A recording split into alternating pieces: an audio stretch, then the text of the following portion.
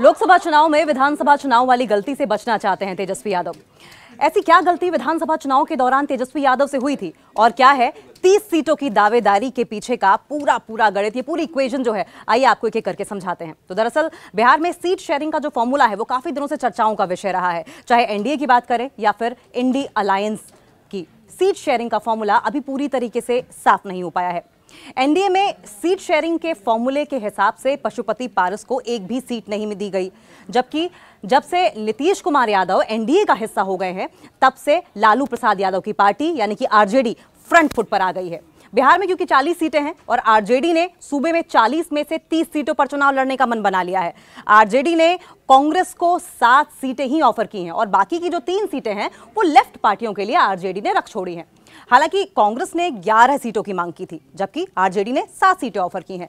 बिहार कांग्रेस चुनाव समिति की 16 मार्च, यानी कि आज बैठक होगी, जिसके बाद स्थिति थोड़ी सी साफ़ हो पाएगी। लेकिन आरजेडी 30 सीटें क्यों अपने पास रखना चाहती है? आइए समझते हैं। तो दरअसल, आरजेडी कांग्रेस को ज़्यादा सीटें देने के मूड में दिखाई नहीं दे रही है और वजह यह है कि 2020 के चुनाव के नतीजे बहुत अच्छे नहीं आए थे। 2020 में आरजेडी ने दो सीटों से 144 उम्मीदवार उतारे थे और 75 सीटें जीती थी।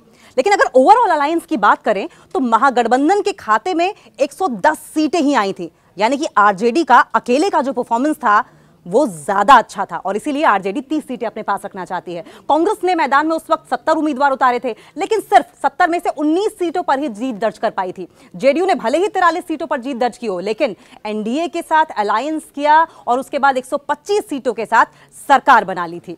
तो बिहार में, क्योंकि मैजिकल फिगर 122 सीटें हैं कहा यह जाता है कि 2020 में गठबंधन सरकार बनाते बनाते रह गया था और उसके पीछे आरजेडी सीधे सीधे कांग्रेस को जिम्मेदार मानती है। आरजेडी अब भी मानती है कि कांग्रेस की 70 सीटों की अगर जिद नहीं होती तो इनमें से आधे से ज़्यादा जो सीटें थी, वो आरजेडी जीत जाती, यानी कि महागठबंधन सरकार बना लेती। तेजस्वी यादव को अब 2024 लोकसभा चुनाव में अपना कद मज़बूत करने का मौका नज़र आने लगा है।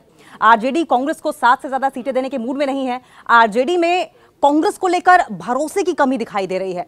आरजेडी इस बात को लेकर श्योर नहीं है कि जो सीटें कांग्रेस को दी जाएँगी, उस पर भी कांग्रेस जीत दर्ज कर पाएगी या भी नहीं। और अगर जीत दर्ज कर लेगी तो कांग्रेस प्रत्याशी जीत भी गए अगर तो क्या उनकी आस्था, आईएनडीआईए गठबंधन के साथ बनी रहेगी? इस पर भी आरजेडी को संदेह है। तेजस्वी यादव अपनी पार्टी के मज़बूत और भरोसेमंद चेहरों पर दांव खेलना चाहते हैं और ज़्यादा से ज़्यादा सीटों पर अपने चेहरों को ही, अपने भरोसेमंद उम्मीदवारों को ही उतारना चाहते हैं। अब जरा 2019 लोकसभा चुनाव का भी ज़िक्र कर लेते हैं।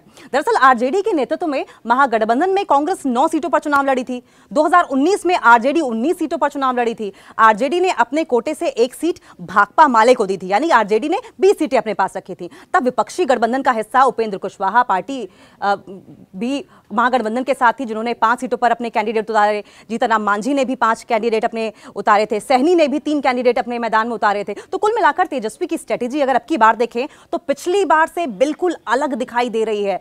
जरा सा भी loophole RJD, Tejashwi Yadav जीत को लेकर छोड़ना नहीं चाहते हैं, अपनी जीत को सुनिश्चित करना चाहते हैं और यही वजह है कि 30 सीटें आरजेडी अपने पास रखना चाहती है और कांग्रेस को छह से सात सीटों में निपटा देना चाहती है।